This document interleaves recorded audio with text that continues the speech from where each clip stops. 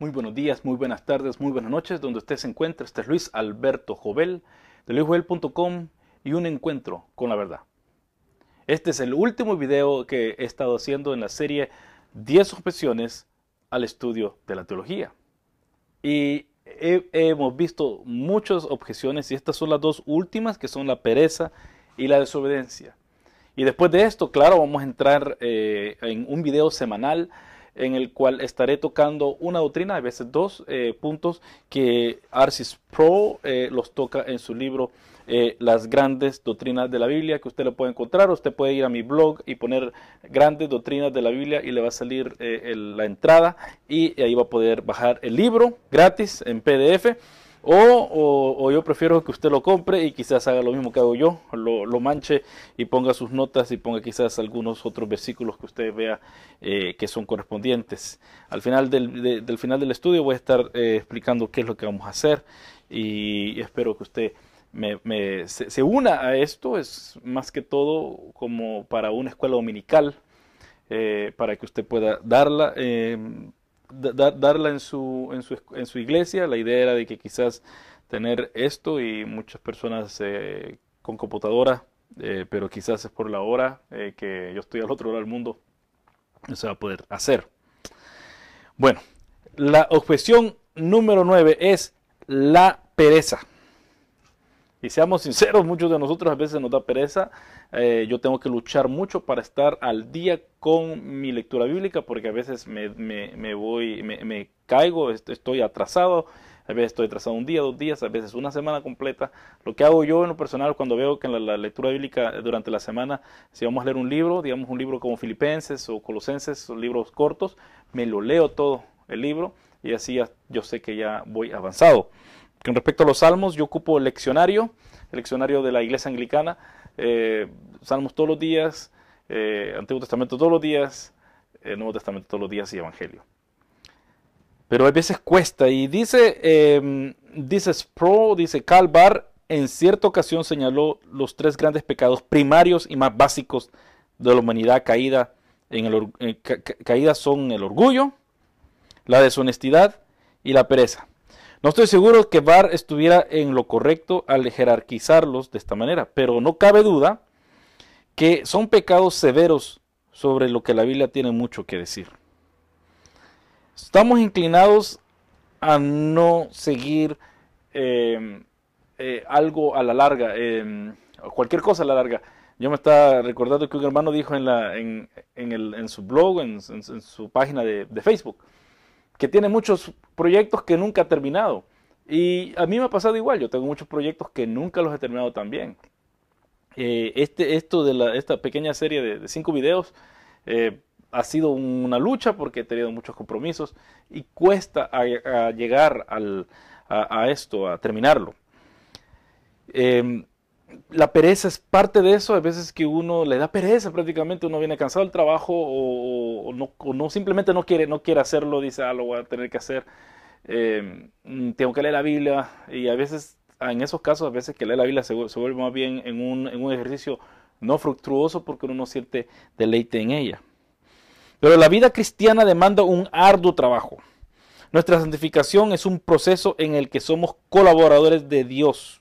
Contamos con la promesa de la ayuda de Dios en nuestra labor, pero su ayuda divina no anula nuestra responsabilidad para asumir el trabajo. Ocupaos de vuestra salvación con temor y temblor, porque Dios es el que en vosotros produce así el querer como el hacer por su buena voluntad. Y este versículo en Filipenses 2, 12, 13 se ha ocupado mucho como para, para decir que la salvación se pierde, que uno tiene que tenerla, tiene que cuidarla, porque si no se va a perder. Pero aquí dice de que Dios es el que produce en nosotros el querer como el hacer. Y también dice en Romanos 8, 10 y 11, dice así. Em, pero si Cristo está en ustedes, el cuerpo está muerto a causa del pecado, pero el espíritu que está en ustedes es vida a causa de la justicia. Y si el espíritu aquel que levantó a Jesús de entre los muertos vive en ustedes, el mismo que levantó a Cristo de entre los muertos también dará vida a sus cuerpos mortales por medio de su espíritu que vive en ustedes. El Espíritu Santo vive en nosotros y, está dispuesto a darnos ese poder para seguir adelante. Eh, Romanos 8, 26, 27 dice algo similar, dice así. Asimismo, en nuestra debilidad el Espíritu acude a ayudarnos el Espíritu acude a ayudarnos en nuestra debilidad. En nuestra pereza, si la debilidad nuestra es la pereza, pues Él nos va a ayudar. No sabemos, no sabemos qué pedir, pero el Espíritu mismo intercede por nosotros con gemidos que no pueden expresarse con palabras. Y mucha gente dice que estas lenguas, eh, yo no creo que son las lenguas, simplemente son gemidos que, son, que no se pueden decir con palabras. No, no, que, Pablo en Romanos no está hablando nada de lenguas. Y Dios que examina los corazones sabe cuál es la intención del Espíritu, porque el Espíritu intercede por los creyentes conforme a la voluntad de Dios. La voluntad de Dios es que el Espíritu Santo nos va a ayudar a nosotros. Lo leemos. Así que Sproul dice que esta ocupación no es algo que nos, redunde, que nos redunde en méritos o nos gane nuestra justificación. Es la obra que sigue la justificación, o sea, la santificación, la consecuencia de la fe. Los cristianos perezosos permanecerán siempre inmaduros porque no se dedican a un estudio diligente de la palabra de Dios. Un estudio diligente de la palabra de Dios. Eh, mucha gente se consideran eh, doctores, yo le he dicho muchas veces, mucha gente se consideran maestros. En esta semana yo eh, estuve en, un seminario de, de, trabajo y me impactó de que había un señor, un muchacho negrito, que hablaba como, como, como americano, eh, gringo, negro estadounidense. Y él estaba hablando y hablando y habían dos otros, otro, uno de, de, Laos y otro de Nigeria. El de Nigeria yo lo conozco, ha sido compañero mío de trabajo. Y él, es, él tiene una maestría en, sociología. Su, su, licenciatura la hizo en su país y la maestría la sacó en Inglaterra. Y el otro también tiene una licenciatura que la sacó en su país. Entonces este, esta persona estaba hablando y diciendo de que él tenía goles, que tenía metas y empezó a decir incoherencias. Y claro, él, yo tengo posgrado, los otros tres nos miramos, volteamos a ver y este está loco. Pero la persona que estaba a la par de él, una señora de 40 años que no tenía tanto, estudio, que era bien sincera, era bien sencilla, la impactó totalmente a ella, la, la impactó. Y se quedaron hablando y esto, lo otro, y todo lo que él decía eran incoherencias, pero ella pero el hombre lo decía con tanta elocuencia y con tanta seguridad de que esta señora se lo creía. Y así pasa muchas veces con muchos cristianos que vienen personajes que, son elocuentes, tienen mejor oratoria que yo. Mucha gente me ha dicho que yo no tengo buena oratoria, sí, quizás eh, Pablo tampoco la tenía. Y, dicen de que, de que, lo que yo digo no vale nada, lo que yo digo no, no, no es importante. Quizás no es importante, pero sí son impactados por personas que no tienen nada de formación bíblica y solo porque son más prepotentes al hablar o tienen mejor oratoria, los engañan y los convencen. Pero el cristiano que está estudiando la palabra diligentemente, y, no solamente la palabra, sino que está estudiando las doctrinas de las que están adentro de la palabra de Dios, la historia de la iglesia, ese cristiano, esa cristiana, sabe discernir entre el charlatán y el que sabe, el que está diciendo la verdad. Y es bien difícil a veces, porque el diablo se viste como ángel de luz para engañar a los escogidos. Y no todos los hermanos tienen el mismo alcance, la misma predisposición de estudiar la Biblia. Muchos tienen pereza. Dice Sproul, yo argumento que la razón primaria por la que malinterpretamos la Biblia no es porque el Espíritu Santo ha fracasado en su labor, sino porque nosotros hemos fracasado en llevar a cabo nuestra labor. Yo estoy en una iglesia, la iglesia que, es pentecostal, eh, yo en lenguas, aunque eh, yo le dije al pastor, yo soy, yo soy de corazón, de corazón bautista, de pensamiento reformado y de práctica pentecostal. Eh, a muchos no les gusta eso quizás, pero eso es lo que soy yo. Yo, yo bautista, yo me siento bautista. Doy gracias a Dios porque ahí crecí. Doy gracias a Dios porque he estudiado y sigo estudiando, con, tanto con Ridley como el South African Theological Seminary, son reformados. Yo sigo estudiando con los reformados. Pero yo prefiero alabar y adorar a Dios con los pentecostales. Y le dije yo al pastor, una iglesia de 1700 personas, y el pastor está usualmente hablando conmigo porque la última vez que, salí tuvimos dos horas hablando y me dijo, wow, se fueron las dos horas.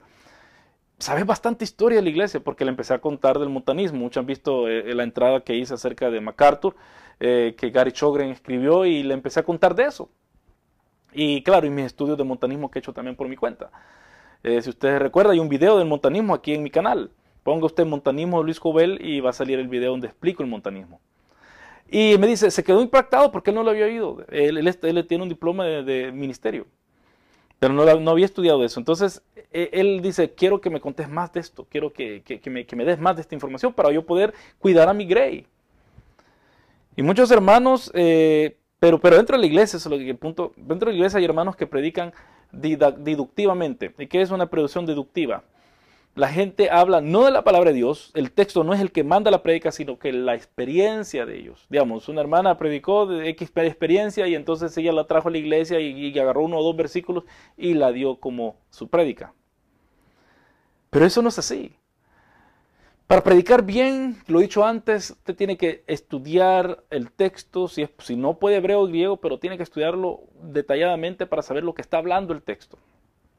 Luego, lo que tiene que hacer es también es saber cómo él se entendió el texto dentro del contexto, o sea, los recipientes originales, cómo lo entendieron ellos.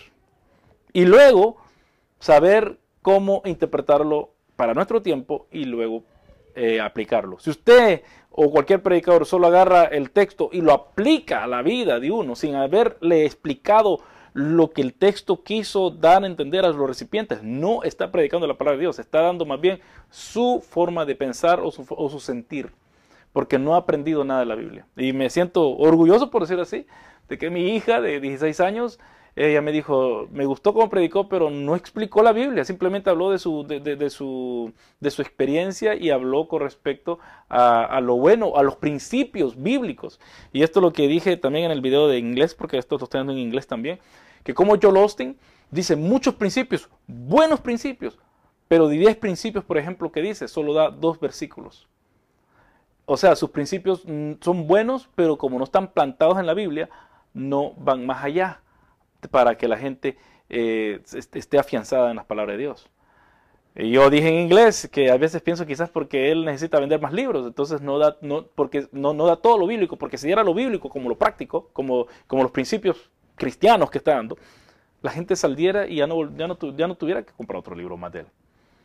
Y mucha gente da también, y Sproul eh, lo, menciona después, en el, en el siguiente, pero, lo, voy, lo voy a mencionar ahorita, Sproul menciona que hay gente que tiene buena doctrina, pero no tiene buena, eh, bueno, eh, no, tiene una vida práctica para esa doctrina. Pero la pereza, o sea que al no hacer nuestra labor, ah, somos perezosos. No alcanzamos a amar a Dios con toda nuestra mente y descuidamos nuestra responsabilidad que dedicarnos a un estudio riguroso de las cosas de Dios. Así que la pereza es una objeción que es algo que más bien eh, es, no es objeción que alguien le va a decir, mira, usted es perezoso, no estudia teología, pero sí es un impedimento que uno no puede leer teología, o puede estudiar teología. La causa número 10, la desobediencia.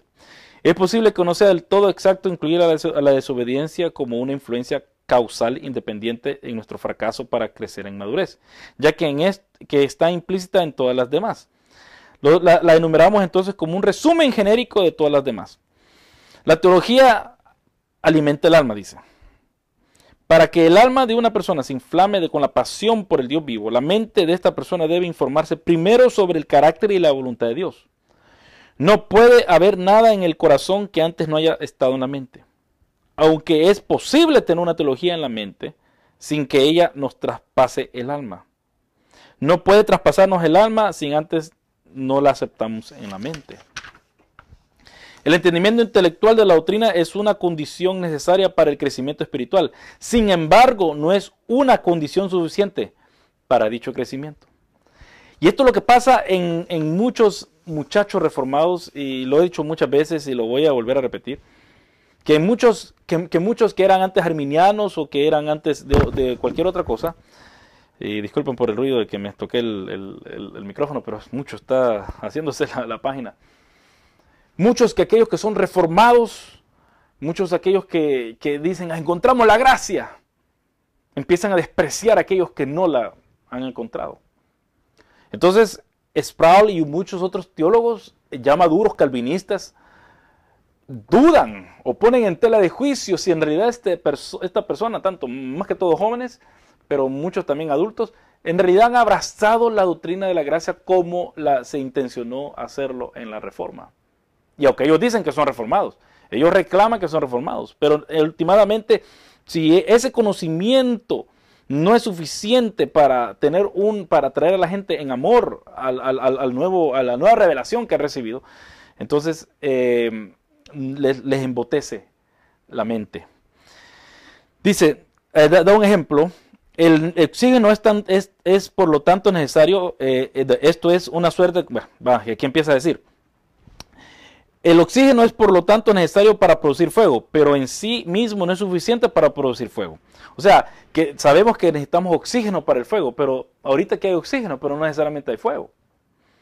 Del mismo modo que el oxígeno es necesario, pero no alcanza con su presencia para prender un fuego, así también la doctrina es necesaria, pero no suficiente para encender un fuego en nuestros corazones, sin la, sin la operación de la gracia del Espíritu Santo en nuestros corazones. La sola presencia de la doctrina no, no deja, no deja, no dejará, no dejará, nos dejará helados, no importando cuán buena sea esta doctrina. Y eso es lo que ha pasado en muchos neoreformados que les digo yo. Y les digo neo porque esto no se había visto antes. Que unos reformados, unos que dicen que tienen la doctrina de gracia, no aman al prójimo. ¿Cómo es que yo puedo, yo puedo recibir la doctrina de gracia sin amar al prójimo? Sin querer. Eh, si es cierto que creen que, los arminianos son tan herejes, hay que tener compasión y, tener, y, tenerlo y traerlos a, los pies de Cristo. Dicho sea de paso. Michael Horton, que es uno de los representantes mundiales de la fe protestante reformada, y Roger Olson, que es uno de los, de uno de los representantes mundiales de la fe arminiana, ellos mismos han escrito libros y se consideran hermanos, aunque quizás con diferentes puntos de vista con respecto a la soteriología, eh, pero sí ven que hay suficiente eh, mérito en cada posición para decir que están dentro de la ortodoxia cristiana. Hay muchos que ustedes conocen, yo los he mencionado, de que han llamado aún a la persecución de aquellos que son arminianos. ¿Por qué? Porque en Dort, allá en, allá en, Holanda, cuando pasó en, el siglo XVII, si no me, el siglo XVIII, si no me equivoco, eh, fue, fue que pasó todo esto de que echaron a todos los arminianos y Em, les confiscaron las casas y algunos los mataron. Y estos son los de la doctrina de la gracia. Ah, cuando, y recordemos que esta es la, esta la época cuando, cuando la iglesia y el Estado eran uno. No solamente la iglesia católica ha sido una con el Estado, también la iglesia protestante, y esto eh, como Calvino, Lutero es un lío, y por eso es que se les llama a ellos los, eh, los reformadores magisteriales, o sea, em, que trabajan con el magisterio para promover su, em, su reforma.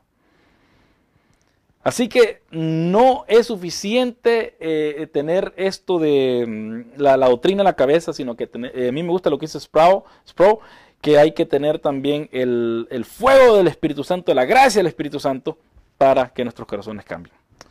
Dios nos manda a ser diligentes en el estudio. La segunda razón positiva para buscar un conocimiento de la teología es que Dios, es que Dios, que es, es, el tema central de la teología, nos manda a progresar en el entendimiento doctrinal. Dice en 1 Corintios 13.1.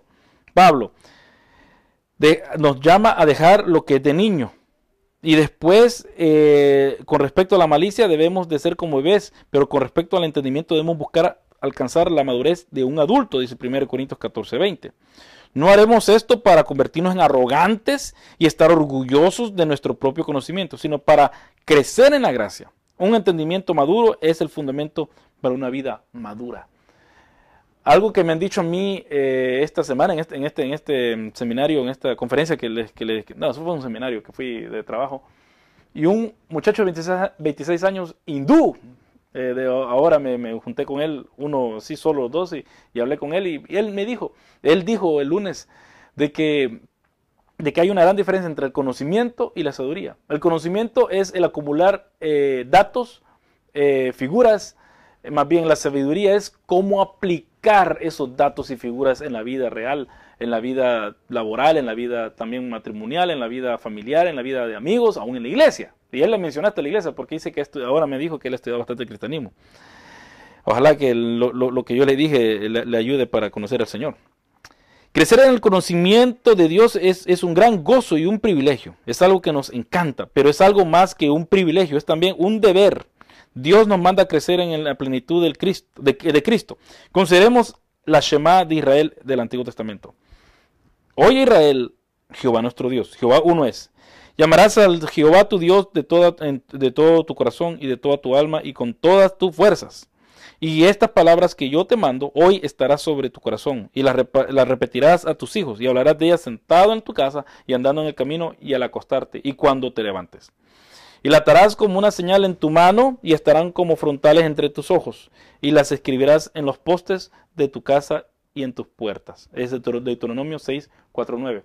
Cuando habla acerca de las señales en su mano, y los frontales entre, los, entre tus ojos, esos son las filacterías que usted ve que los judíos, en, tanto en el, muro de los lamentos como también eh, en, otros lados, los hasidim más que todo, se ponen y ahí están los mandamientos de Dios, eh, los diez mandamientos o la Torah total, aquí o aquí. Eh, yo, yo tenía uno de esos cuando mi abuela estaba viva. ella me regaló eso y también me regaló un, un rollo que tenía en medio la, un rollo de oro que tenía, que me lo podía poner aquí y que tenía los diez mandamientos escritos en un, en un, en un, un rollito pequeño, adentro de, de, este, de, este como pergamino, así, pero de oro, o sea que era sólido. Eh, yo me bañé con él y se arruinó. mi abuela se enojó. Como he dicho, como lo he mencionado antes, nosotros tenemos descendencia judía, no necesariamente somos judíos, aún en ciertas partes de mi familia mantenemos ciertas cosas eh, judías, pero yo no soy judío. Eh, eh, el hecho de que he sido circuncidado no quiere decir que soy judío tampoco. la circuncisión que vale, dice la Biblia, es la del corazón, no la que, la que hacen ahora en la carne. Quisiera, pero, pero, pero quería mencionar eso. Y la otra cosa que dice que lo escribirás en los postes de tu casa es que al entrar a la casa los judíos eh, observantes tienen la mesusa. Y la mesusa es también eh, los diez mandamientos, es la primera palabra de los diez mandamientos, la primera letra a veces de los, diez mandamientos. Y, cuando entran le hacen así, o cuando salen le hacen así, la tocan porque se comprometen en, en cuidar esos diez mandamientos cuando salen y cuando están en su casa. Bueno, eso es interesante lo que, lo que dice, para que, lo que ellos que no sabían por qué se ponen los judíos eso eh, y por qué también tienen eso, la mesusa casi no se ve, pero, pero, pero usted va a la casa de un judío, eh, por ejemplo en El Salvador, cierta familia también aún tenía eso. Los hijos no sabían que era eso, pero los padres, mis tíos sabían que era eso, pero eso es otra cosa. En el corazón de este mandamiento sagrado, del de Deuteronomio 649, está el deber de solemne de aprender la ley de Dios, de dominar su revelación. No se trata de una empresa alegre e informal. Dominar la palabra de Dios es sumergirse profundamente en el estudio de la teología. Debemos recordar al lector que es posible tener una teología buena sin tener una vida buena. Pero no es posible tener una vida nueva si no contamos con una teología buena. Y aquí es, aquí es una, cosa bien contradictoria, porque yo he conocido muchos hermanos sinceros dentro de los solo Jesús Muchos hermanos que buscan la santidad dentro de lo solo Jesús, de los unitarios, los que yo digo, los mal llamados unicitarios.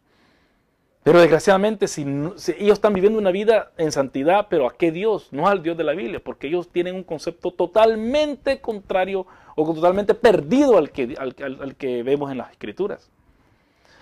En este sentido, la teología debe ser vista como una ciencia abstracta. Se trata de un asunto de vida, no, no dice, mm, en este sentido, la teología debe ser vista como una ciencia abstracta. Se trata de un asunto de vida o muerte, o de un asunto de vida eterna o muerte eterna.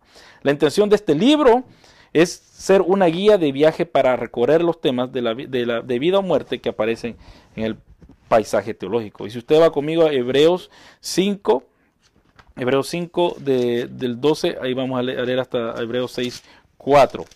Hebreos 5 del 12 dice así. En realidad, a estas alturas ya deberían ser maestros, sin embargo necesitan que alguien vuelva a enseñarles las verdades más elementales, más elementales de la palabra de Dios. Dicho de otro modo, necesitan leche en vez de alimento sólido. El que solo se alimenta de leche es inexperto en el mensaje de justicia. Es como un niño de pecho.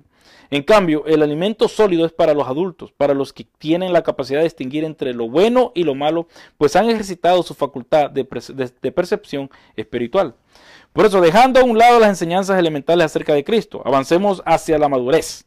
No volvamos a poner los fundamentos, tales como el arrepentimiento de las obras que conducen a, la, muerte, la fe en Dios, la instrucción sobre bautismos, la imposición de manos, la resurrección de los muertos y el juicio eterno. Así que procederemos si Dios lo permite.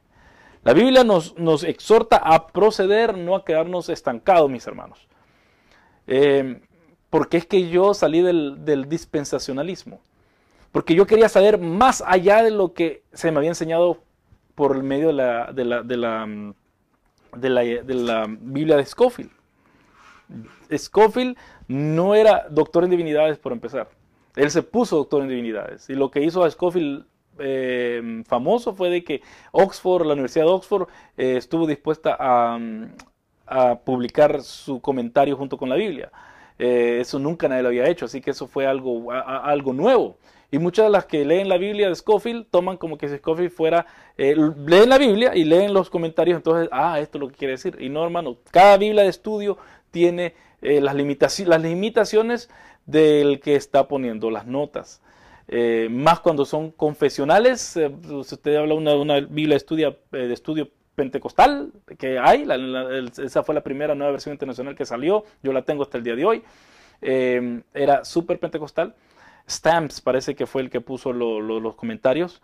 Por ejemplo, Stamps no, creía de que, de que el, Señor Jesús en las bodas de Caná había convertido el vino con vino con alcohol. Él decía que es imposible, cosa que que un erudito de oinos se dice vino en, griego y oinos no se encuentra en ninguna forma en el griego antiguo que se usara como una simplemente un, jugo de uva.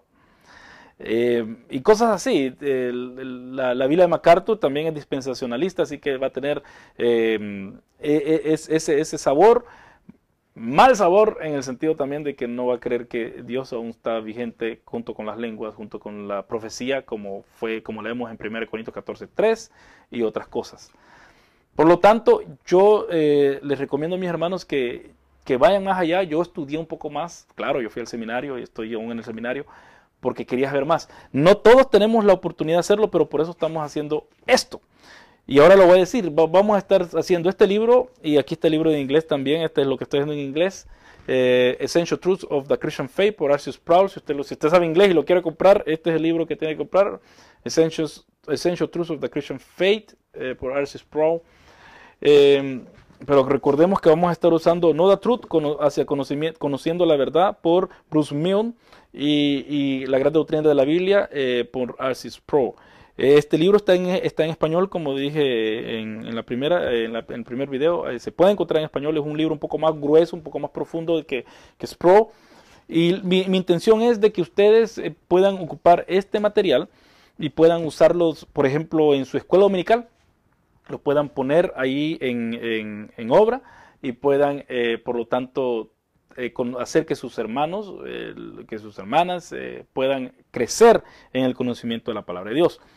También voy a estar usando, claro, eh, mis libros de teología que están detrás del otro lado de acá, eh, como Erickson, Grudem, que usted los conoce, está viendo Bosch, está viendo Horton, Horton también tiene su libro de teología, ojalá que lo saquen en español, yo creo que eh, se puede usar. Em, y también Berkov, no Louis Berkov, Hendrikus Berkov, que es otro Berkov que también es de Holanda, pero que no, que, que, que Louis Berkov es muy antiguo para mí. está bueno, pero, pero, pero prefiero leer a Hendrikus Berkov, que es un poco más profundo. Eh, y también está valiendo Migliori, que es el que está en Princeton, que es el que tiene la, tiene la eh, ¿cómo le dicen eso? El asiento o tiene el puesto de Charles Hodge, que ahora se lo han dado a él. Yo les invito, mis hermanos, que sigan que sigan ahora, va a ser un va a ser un video semanal, eso es lo que voy a estar tratando, ojalá que la pereza no me gane, como también, también las cosas de que tengo que hacer durante la semana. Va a ser un video semanal. Eh, claro, ustedes van a ver el Gran Doctrina de la Biblia, capítulo número, y ahí vamos a ir yendo poco a poco eh, haciendo este libro. Este libro son 101 capítulos, pero eh, hay, capítulos que son tan pequeños que de una página que yo creo que vamos a poder hacer dos capítulos en, un espacio de 30 minutos como ahora me he tardado, por lo visto. O sí, tengo, tengo ya 30 minutos. Yo creo que eso es lo suficiente para, para hacer un estudio así. Lo último que les quería pedir eh, es que eh, hágase miembro de, este, de este canal. Si usted tiene preguntas, déjelas en el, en el, déjelas en, el, en, la, en los comentarios tanto de este canal como en, también en luisjovel.com, si usted lo ve ahí, eh, puede hacer sus preguntas ahí como comentario y lo deja ahí. Hágase miembro de este canal, hágase miembro de, de, luisjovel.com y también yo, le, yo le invito a, ver los demás videos que tengo acá. Son bastantes videos, estoy haciendo muchos. Y una última cosa, de que si usted siente su corazón eh, poder aportar, ahí, usted va a poder ver en, eh, adentro en el blog que dice ahí, si no me equivoco, dice colaborar. eh, y usted puede colaborar, pero usted puede verlo ahí. Eh, está, está cerca de donde dice biografía y usted va a ver que ahí va a poder donar con PayPal. A esto. ¿Y por qué lo pido? Porque a veces que los el libro, a veces que hay que comprar un nuevo libro, hay algo, hay algo que hay que tomar. También tengo que pagar la luz que estoy gastando aquí, Em, eh, hay que pagar el internet para subir eh, el, video y cosas por ese estilo. No estoy, no estoy pidiendo miles de dólares, no estoy pidiendo millones de dólares, simplemente estoy pidiendo suficiente dinero para cubrir eh, tanto lo que estoy haciendo como también quizás comprar un libro para, que, para poder después compartir este conocimiento. Este conocimiento em, lo estoy compartiendo gratuitamente, pero sí necesito el material y necesito las herramientas para poder hacer todo lo que estoy haciendo. Que Dios les bendiga, mis hermanos. Eh, eh, espero que haya sido de mm, que, que, haya sido estos videos hayan sido de edificación, que estas objeciones, 10 objeciones que vimos, ya usted las pueda responder y pueda entonces libremente estudiar teología. Y también que nos, me, siga en, los próximos videos, en el próximo año quizá vamos a estar haciendo estos, videos y pueda usted también ser edificado y invite a otros que vean este video, invite a otros que, que, quieran estudiar teología para que para que puedan profundizarse más, no ser engañados por, por personas elocuentes, pero también conocer más al Dios que nos ha salvado y que nos ha dado la vida eterna. Que Dios les bendiga.